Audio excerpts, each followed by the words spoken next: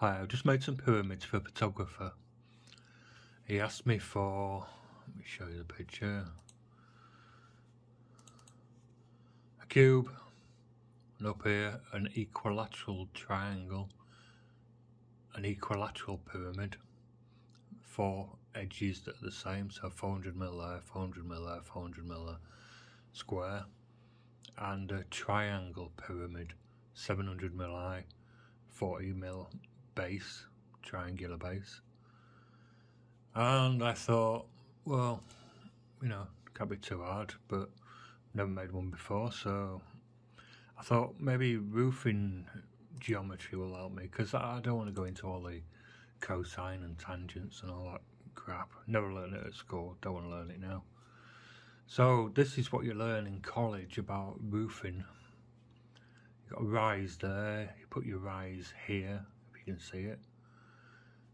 Bring your mark around and that gives you your angle there. And I did try this. Um, see if I could find a drawing for it. Uh, this one. See that's the rise, that's the rise there. And I worked out this angle, 35 degrees, and it, it sort of worked, but my dimensions were off. They weren't the same as what I drew on here. So I had to go back to school and learn, look online, but I couldn't really find anything that, that worked. So eventually I found this website. what you need to know on this is the size up here, the base size, that's the width across there. On my drawing, it's that dimension there. Let me get rid of the construction line so it's a bit clearer. That distance across there, or that one across there, which is 400 mil on the mine. So on that website, 400 mil, put in there. I need this angle, which is this one here. If you draw a horizontal line there and then down, I didn't really have that on my drawing, so I had to work it out see there. Let me just capture that. See that 54.75. Not this one, but that one when you're looking at the side. Like that look. No, try that's the triangular one. 74.05. So what did we have? 54.74. So 54.74 calculate. You put in the amount of sides here. We wanted four so I gave a cutting angle of 53 degrees.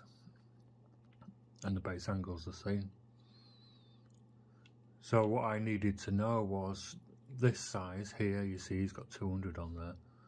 The true length of these or 364 should I say the true length of these, which is this size here, not that size, that's not a true size because you imagine the pyramids, it's leaning over. So that triangle there, you know, isn't isn't the right size. This one, this development on the side here is the, the right size. So I had to work all these things out. And then just for the base, I had to work this one out here. This one out here. But I'll come to that. So let's um, just to explain it a bit better and how I got to this calculation here I'll draw it again. So let's um, let's close that. No I don't want to save it. I haven't changed anything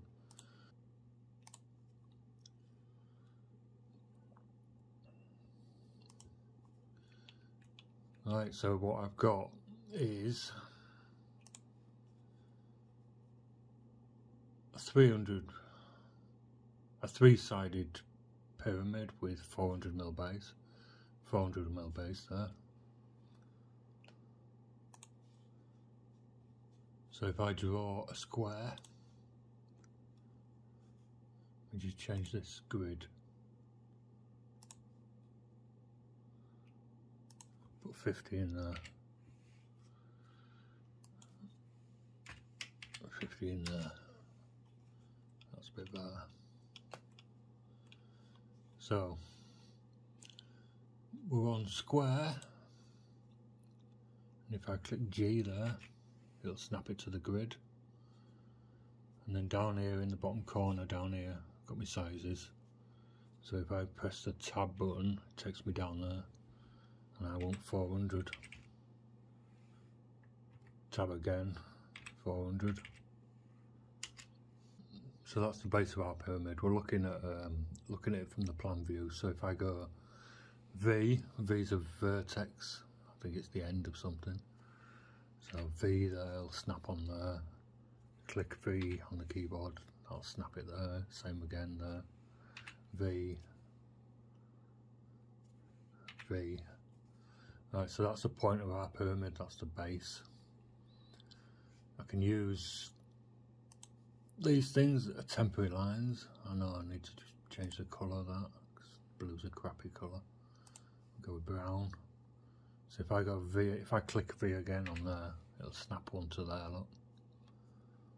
V again there. I'll put one in the middle as well. That's I for intersection I for intersection V for vertex. And then up here big graph we'll just put one in across anywhere. And I'll put a line in there. So I for intersection. I for intersection.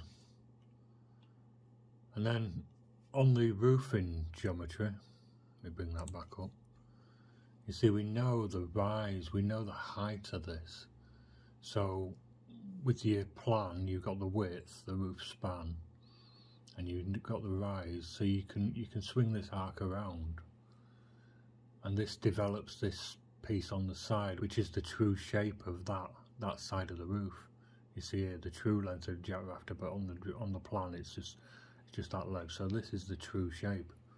But we don't know the rise on ours on this one because he wants wrong one. Because he wants an equilateral triangle. I haven't got a height. I've got a height for this three-sided one but not for this one. So this roofing diagram I have to sort of work backwards. I have to know what this is. Then I can work out me, me rise how high this pyramid is. Then from that I can work out that angle for the online calculation thingy. So if I put another couple of horizontals in here so V there and V there and then we pick a circle this one. I'm going to make that the same colour let's just zoom in a little bit. So if I go I there and then in this bottom corner I click on the radius there and go 400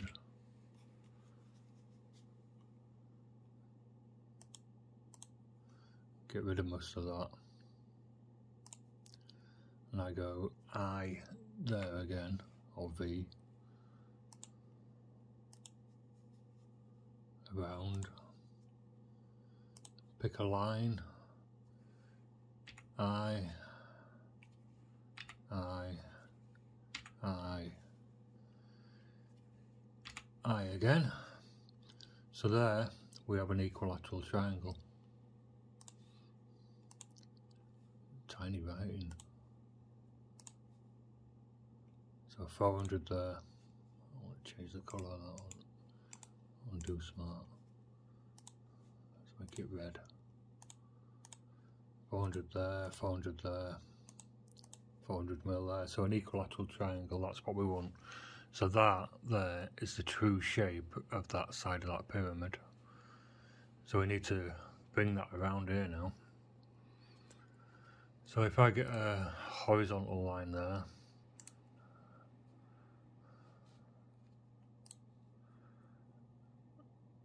and go I, click that to that point. Cancel.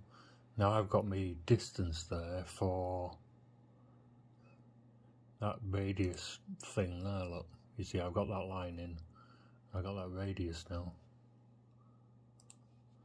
So I can go back to my circle, click I there, I there. I've got a centre mark here so we can get rid of everything except for that. So now I've got a cross section. So I can go I there, I there. I there, and I there. So that is the side view of this pyramid now. That's the true size. So for my when I when I cut these pieces, I can go M for middle and I for section, I for intersection. I mean. So that's three, four, six there. That's how wide I cut my board. And I need a line across the top. Oops, horizontal. There we go. If I go I there. Okay, yeah, no. I there. Cancel. Put a line in. So I N for nearest, so that'll click on there. And that gives me that distance. That gives me that angle. So 54.74, that's what we had before. See, 54.74, 400 mil size base, which is that.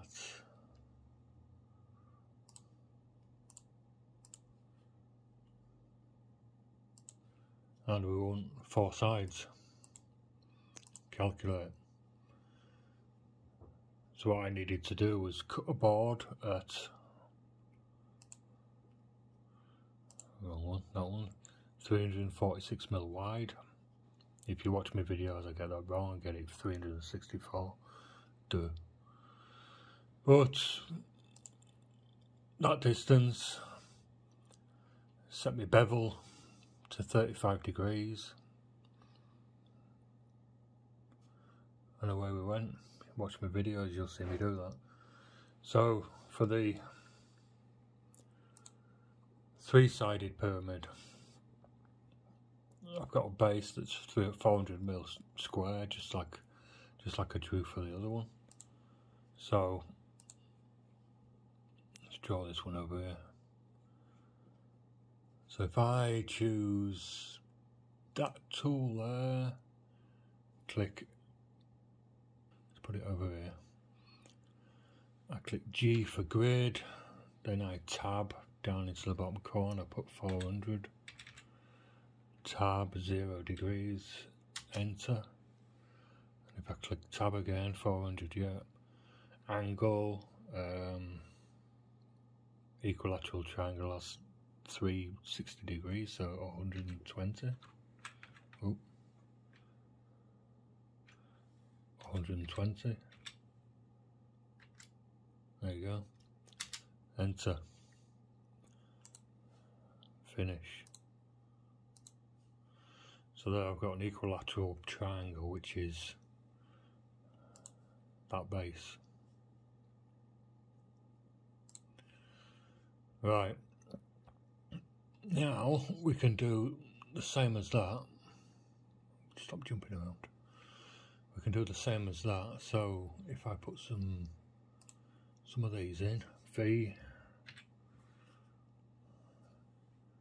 V, yeah, I know, V, yeah. I then, I.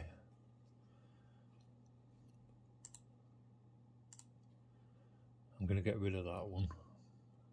Just because it's in the way. Construction. Get rid of that line. Get rid of that line Right, so if I go I there, we know the height of this one's 700 mil high, so I can put a parallel construction in, like that. And if I click tab, it takes me down in the bottom corner, 700 mil, enter. I can just put some lines in there, so I I, I, I again. So that is the side looking view of that. Just like that is. Let's put some put some lines in here. Make it look like a pyramid. So I M for middle. I M for middle, and then I again. I might as well just go the middle on this intersection. So I can, I can just tidy that up a little bit. We don't need all them. Get rid of that. And yeah, there we go. So if I just hide the construction lines, that's what our pyramid looks like from above. That's the point. That's the point. So I have to do this one a little different. I have to do it like, I'll find the drawing, like this you see. Got a, ooh, steady. Got a centre line there and an arc radius around. So I need to know this true length of this hip here this side. This this plan isn't the this side looking this side view isn't the true shape. We need to know the true length, which is done by developing this around. And then you can draw triangles like this. I'll show you. So I need to just put the construction lines back on. I need a construction line across the middle there so I for intersection. Then arc center so I for intersection there. I for intersection there. We can get rid of a lot of this. And then I've got that. I've got that there now So I can put a line up, use horizontal construction, so I can go I for intersection there, and then put a line in, so from I to I gives me the true length of one of these sides up here. Just like on there, you see true length of slant edge. So if I 7311, why is that different? That's different to my drawing. I've got 73735. 73711. What's why? Why? M I 700 base. 400 400 400 400 they're all bloody same what's this one? 728011 72801 400 400 400 400 737.35 I don't know I think it must be the the accuracy of these these little points with this smart thing. Let's just try it on this one. You see that's a smart angle. It picks out the picks out the size automatically for you. But this one you have to put in manually so I I See that one says seven three. Oh, ah, that's completely wrong, isn't it? We've got way too many things going on up in the top corner. Oh, see that points off. Anyway, it's near enough. We'll carry on regardless. Was that a carry on, Phil? 737.11 and the drawing I went to was 737.35 so what 0.2 of a millimetre out? That's near enough. Right so now we've got that true length there. I can work out the true shape of the side of one of these. So we just put another construction line in there and use my arc center and 73711 so if I go intersection there and then I want to lock this one I remember. 737.11 get rid of all this we don't need all that. Then come down here we know the base size is 400 mil so 400 I put in there. I don't know why it does that. It just puts one in for some reason. So I there. Like I say we don't need all of that so I can get rid of that. Come back to our line. So I I I I I I. So that is the true shape of one of these sides. I M. And that is the true length of one of these sides.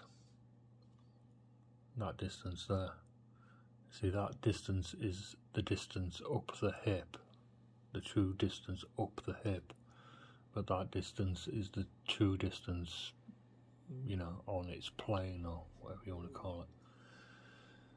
Right, 70946, let's see what my old drawing had. 70971, so, you know, 0.3 of a mil out, it's near enough. Right, something I had to do on my other right, something I had to do when I was making them was look at the angle. You see that one that that view there is looking from that angle there. That view there is looking sort of down flat, you know, square onto that face there. But what I wanted to do was look at that angle there, see how much that is sloping over there, the true, the true sort of shape that is. Waffling a bit now, but I'll just draw this through and it gives you the sort of true shape of the size and in one of my videos it'll, it'll sort of make sense. Alright, so I'll pick an angular construction. Let me just zoom in a little bit. Too many things going on there. So I can go I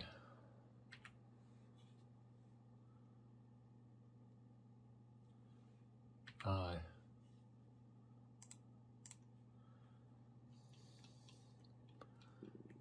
Right, so we've got a sort of line of sight that way now, so I can pick a parallel and go I there. Oop, wrong parallel, that parallel. Another I there. Then I want a perpendicular.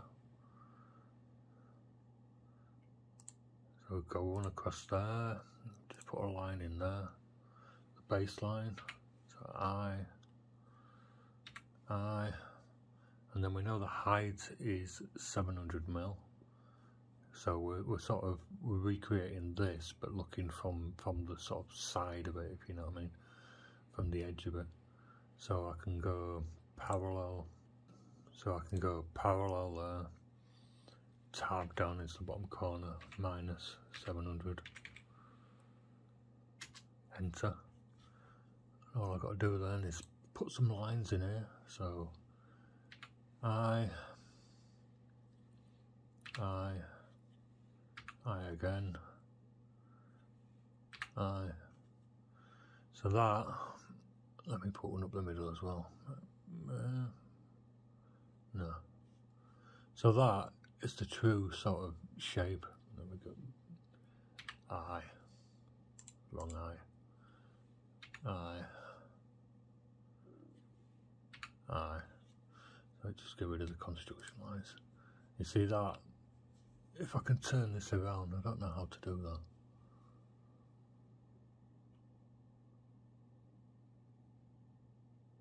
Roll, slide, examine. I think they're more the 3D tools. If I was to spin that around, that would be looking at this from that angle.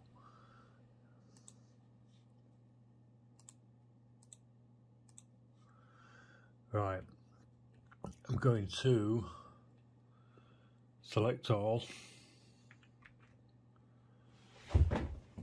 Just put my camera between my keys, camera between my knees, because I need to just deselect that line and that line.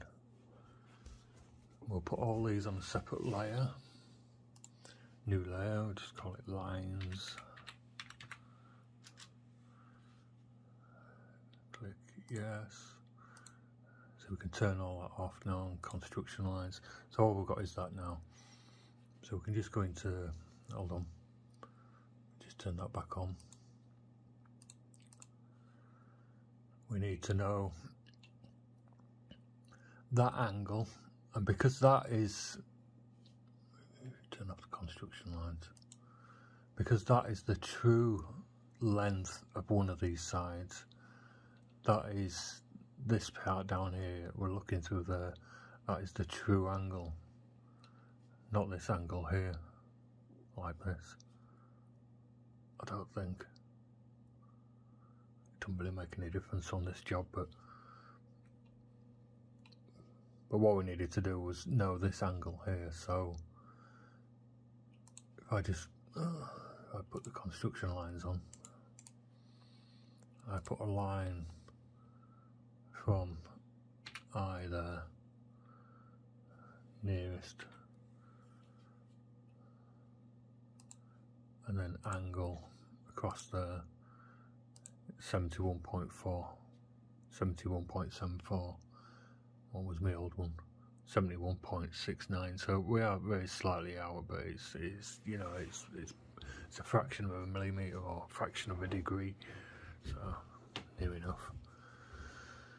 So let's um like I say let's hide all that. And we'll select tab to get the thing back put that on put all that on that line as well and that.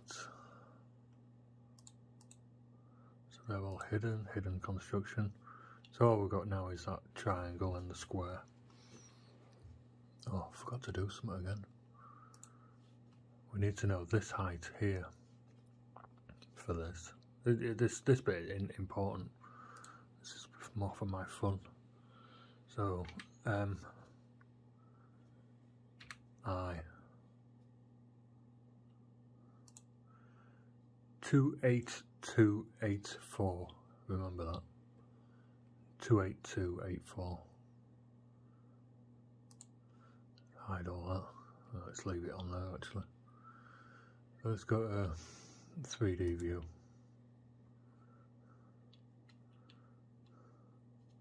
So, pick a cone, pick this specified 2D base, and we can make that into a tab. 282 was it? 282 I'll do. Can't remember the rest. Enter. See we've got a cone there now. Make that solid looking. I've just got to put the camera between my knees again and turn that around look me just turn those off. Ta-da. And the other one, we know is 700 mil high. So cone, specify 2D base, tab, 700, enter. That's what I'm going to be building basically. Or that's what I've built actually by the time I'm drawing this.